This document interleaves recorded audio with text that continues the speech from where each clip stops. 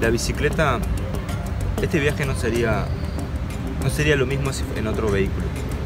En la bicicleta voy tan lento que, que lo, se puede ver casi todo, en los pueblos, en la ciudad, en la carretera, en las comunidades.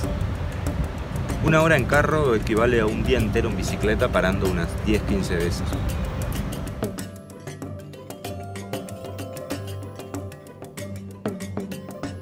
La importancia de, de salir de nuestra zona de confort para enfrentarlo y crecer.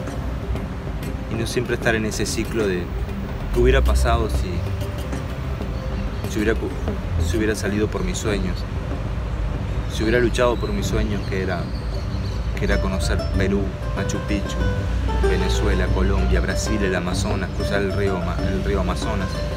¿Qué hubiera pasado? No me quiero ir de esta vida con el que hubiera pasado. Hoy estoy aquí en Panamá. Ahora, dentro de una semana me voy para Alaska. No es el llegar a Alaska, sino el camino. Son 19.000 kilómetros Centroamérica y Norteamérica. No, yo no llamo libertad estar haciendo esto que hago, que es viajar o estar en la montaña, mañana estar en la playa. No, la libertad es hacer lo que a uno le apasiona, ya sea en tu trabajo, con tu familia, en tu rutina. Si tú te apasiona lo que haces al 100% o tratar de consumir el máximo tiempo haciendo lo que te gusta, eso es libertad. Cuando tenía mi, mi rutina normal, siempre decía, cuando emprenda este viaje, me voy a levantar a la hora que yo quiera.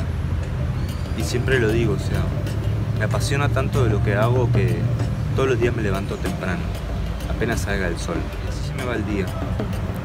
Más que nada parando, soy muy curioso, siempre estoy preguntando todo el porqué, ¿verdad? De la familia. No vengo en, este viaje hablando de mí, de lo que estoy haciendo, de lo que voy a hacer, sino soy el que, el que escucho y el que aprendo de ellos.